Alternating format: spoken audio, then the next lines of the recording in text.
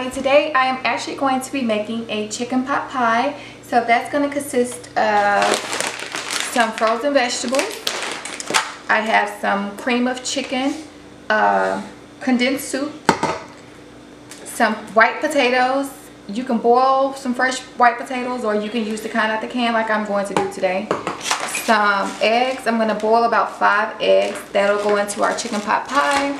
I also have some pie crust and in the fridge I have some Pillsbury um, biscuits that I'm going to do some I may do a version of two or I may just do one. I'm not exactly sure yet. We're just going to see how everything flows how much mixture we have at the end and then like we can decide towards the end. So right now on the stove I have two pots going one I'm going to go ahead and start boiling the chicken I'm going to put one tablespoon of some Maggi's chicken seasoning as well as probably one tablespoon of some garlic powder. And over here, I'm just going to add some salt to that pot and boil our five eggs. So, stay tuned. Alright you guys, so here are the ingredients that we'll be using today to make our chicken pot pie.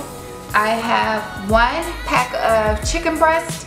Okay, we have some eggs. The pie crust is like the pre-rolled uh, pie crust mixed vegetables, Pillsbury dough biscuits. I have some cream of chicken soup. I also have a couple of cans of white potatoes pre-sliced. Another thing that I'm going to season the chicken with will be some garlic powder and some chicken bouillon cubes, which is completely optional, but um, I like the flavor that it adds to the chicken pot pie.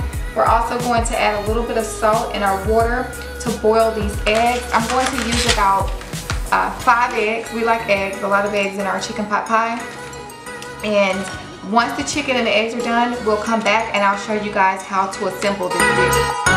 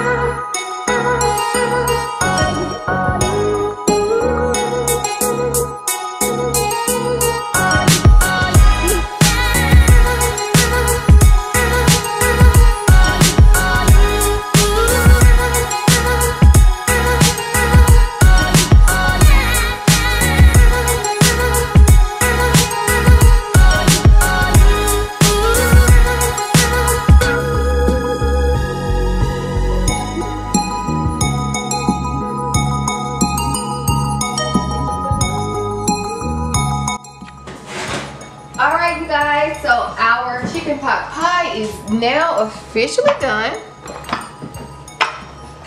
This is one of the easiest recipes you can ever make. Um, the store-bought biscuits is an idea that I implemented. I got this recipe from my mother-in-law and she actually put, um, she makes her own biscuits and drop, drops them over on top just had issues with trying to formulate a recipe so I just figured I would buy the store-bought kind and put them in here. As you can see they're hard on top but they're nice and fluffy still. See that? In the middle. Okay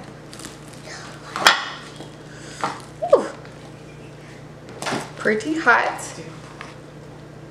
All I'm gonna do is just take it.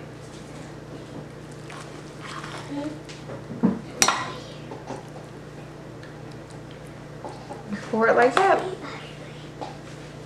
Mm. And there you have it. Chicken pot pie.